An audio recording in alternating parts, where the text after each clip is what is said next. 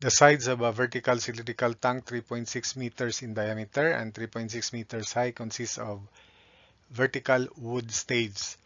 The bursting stress is resisted by two horizontal steel hoops located at quarter points of the sides, quarter points of the sides. The lower half of the tank contains water, the upper half oil of specific gravity 0.8.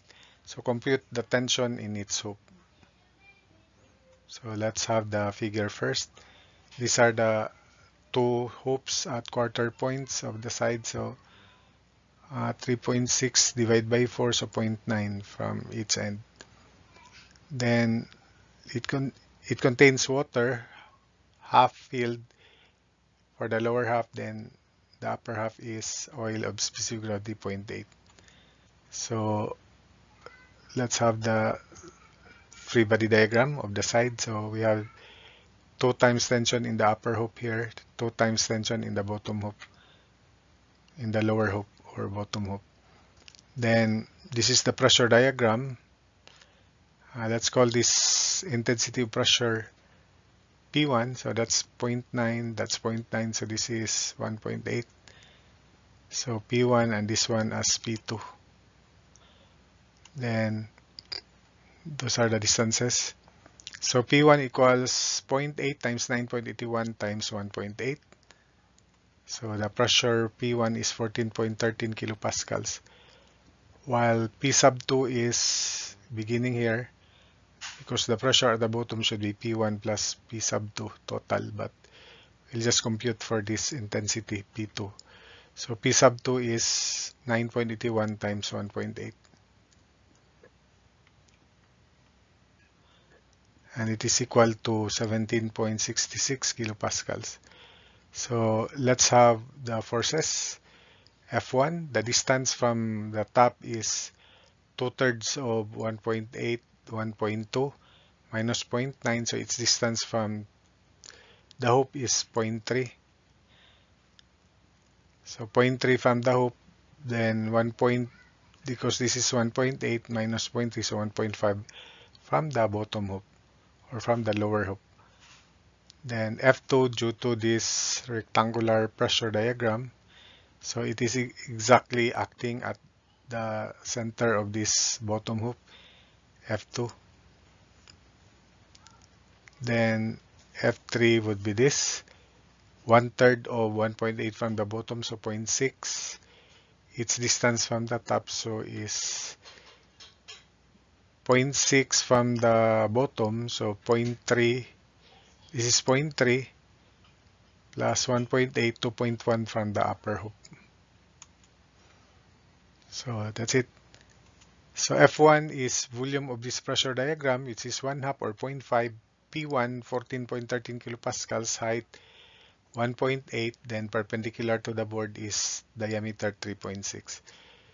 So F1 is 45.78 kilonewtons. F2 So F2 is equal to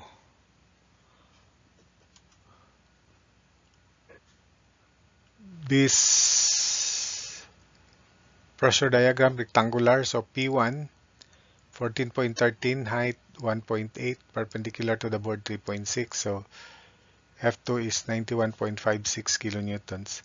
F3 is due to this triangular pressure diagram, 1 half or 0.5 of P2, 17.5 of 17.66, height 1.8, perpendicular to the board 3.6 again, diameter. So 57.22 kilonewtons F3. So summation moment about the lower bottom hoop equals 0 to compute for the tension in the upper hoop or stress in the upper hoop. So 2 times T sub U times 1.8 plus F3 which is 57.22 times 0.3 then equals F1 45.78 times 1.5 plus F2 times 0 so there's no need to mention F2 because its moment arm is 0. So we can now compute tension in the upper hoop or stress in the upper hoop. 14.31 kilonewtons. Likewise, summation moment about this point upper hoop equals 0 so 2 times tension in the bottom hoop times 1.8 is is equal to F1 45.78 times 0.3 plus F2 91.56 times 1.8 plus F3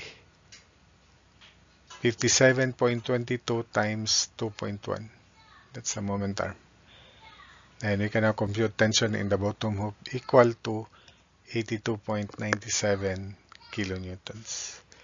So what is important here is you know how to compute for the tension in the hoops and remember the free body diagram of the pressure diagram rather.